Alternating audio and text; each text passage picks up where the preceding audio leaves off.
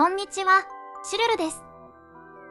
今回は、週刊少年ジャンプ付属特典カードの相場情報をお届けいたします。2001年から2009年までに発売された全14冊分について取り上げますので、ぜひ最後までお付き合いください。それでは、早速参りましょう。第14位、エンペラーストゥム、100円。13位、モザイクマンティコア、100円。第12位、ヴィクトリア、100円。14位からの3枚は、ストレージでもよく見かけるカードですね。カード名とイラストだけは覚えてるんですけど。第11位、ワンハンドレッドアイドラゴン、200円。第10位、究極封印神、エクゾディオス、200円。第9位、現世と冥界の逆転、200円。エラった前のテキストが異常でしたよね。コミックスでの初登場時から嫌な予感しかしませんでした。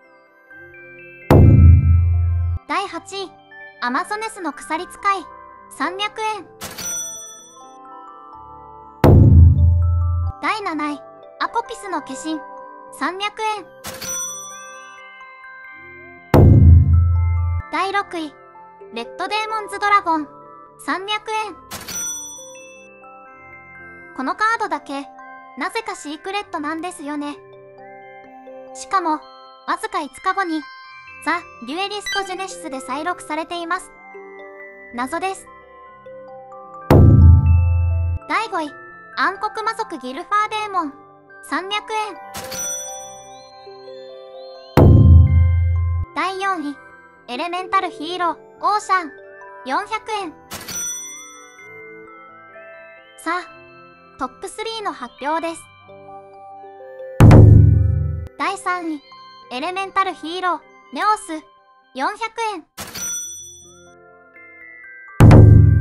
第2、ブルーアイズホワイトドラゴン、1000円。英語版の攻撃モーションイラストですね。お持ちの方も多いんじゃないでしょうか。第1、ブラックマジシャン、1300円。それでは、一覧に移ります。トップ3が主要キャラのフェイスカードというのは分かりやすいですね。相場が安定しているのは、週刊少年ジャンプの特典ということで、流通量が多いのが一因でしょうか。といったところで、本日は以上となります。今回はアンケートも用意しておりますので、よろしければご協力お願いいたします。また、大変励みになりますので、高評価ボタンだけでも押していただければ幸いです。最後までご覧いただきまして、誠にありがとうございました。それでは、失礼いたします。